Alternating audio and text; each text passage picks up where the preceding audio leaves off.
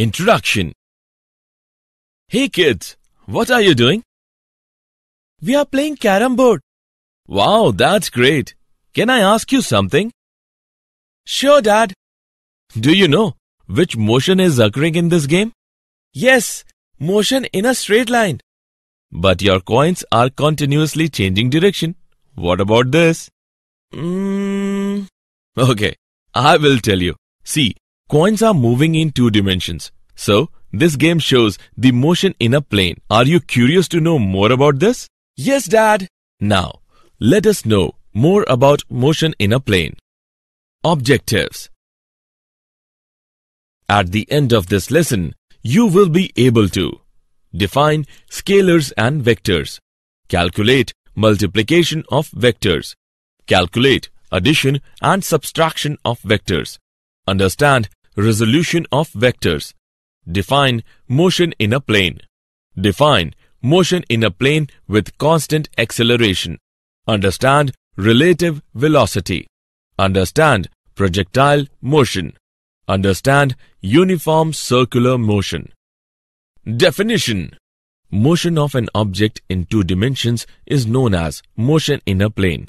In our daily life, we can see many activities in which motion is done in two dimension.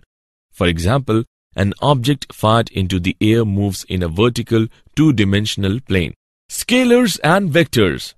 In physics, quantities are classified in two categories. They are A. Scalar and B. Vector. Scalar. The quantities which can be specified completely by their magnitude alone. For example, work, energy, power, charge, etc. Vector. The quantities which can be specified completely by their magnitude and direction.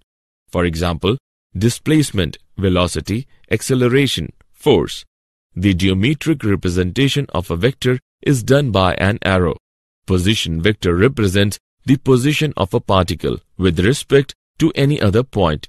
Displacement vector represents the displacement of the particle between two points. Multiplication of vectors. When a vector A is multiplied by a number say n, we obtain a vector v given by v vector is equal to n into a vector.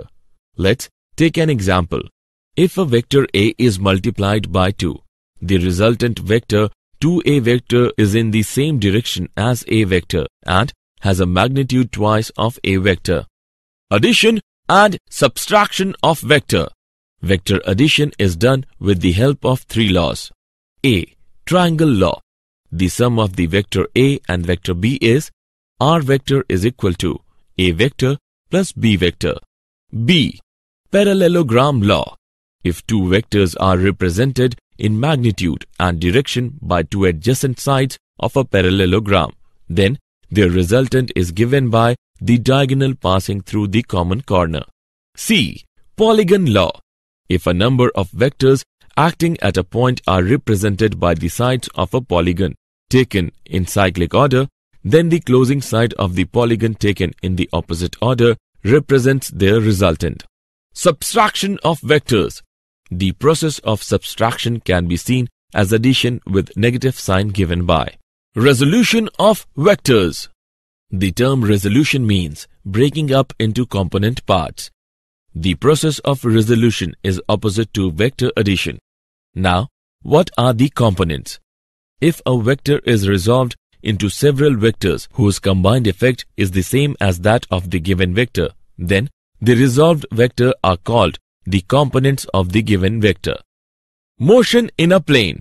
Let's see motion in two dimensions using vectors, position vector and displacement. The position vector r of a particle p located in a plane with reference to the origin of an xy reference frame is given by r is equal to xi double dash plus yj double dash. A particle moves along the curve and is at p at time t and p dash at time t dash. Then the displacement is delta r is equal to r dash minus r. By putting values, we get delta r is equal to i double dash delta x plus j double dash delta y. In one dimension, the velocity and the acceleration of an object are always along the same straight line. However, for motion in two or three dimensions, velocity and acceleration vectors may have any angle between 0 degree and 180 degree between them. Motion in a plane with constant acceleration. Let us take an example to understand. An object is moving in xy plane and its acceleration a is constant. Now, let the velocity of the object be nu naught at time t is equal to 0 and nu at time t. Nu is equal to nu naught plus at. This is the equation in component form. We conclude that motion in a plane can be treated as two separate simultaneous one-dimensional motions with constant acceleration along two perpendicular directions. These results are also valid for three-dimensional motion. Relative velocity. The velocity of the object with respect to the observer is obtained directly by subtracting the velocity of the observer from the velocity of the object.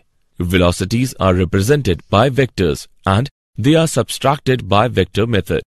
Projectile motion. An object thrown into space with some initial velocity and then allowed to travel freely under gravity is called a projectile. For example, a bomb dropped from an aeroplane. A cricket ball hit by a batsman. Motion of an object projected with velocity nu naught and angle theta naught is shown in figure. The path of a projectile is a parabola. Time of flight of projectile is Tf is equal to 2 nu naught sine theta naught divided by g. Maximum height of a projectile is hm is equal to nu naught sine theta naught square divided by 2g. The horizontal distance travelled by a projectile from its initial position to the position where it passes y is equal to 0 during its fall is called the horizontal range.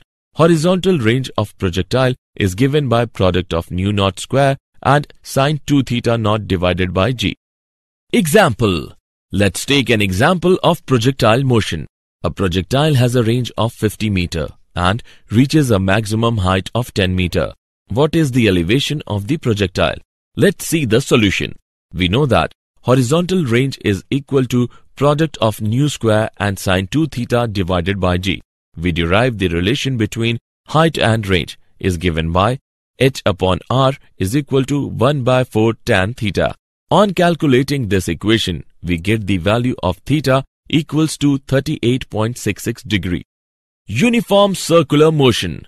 The revolution of an artificial satellite in a circular orbit around the Earth is an example of circular motion.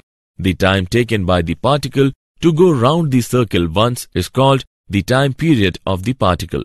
The number of revolutions made by the particle in one second is called the frequency of revolution of the particle. When a particle moves with constant speed in a circle, the velocity is always tangential and has an acceleration which is directed radially inwards. Both velocities and accelerations have constant magnitudes but changing directions. Did you know?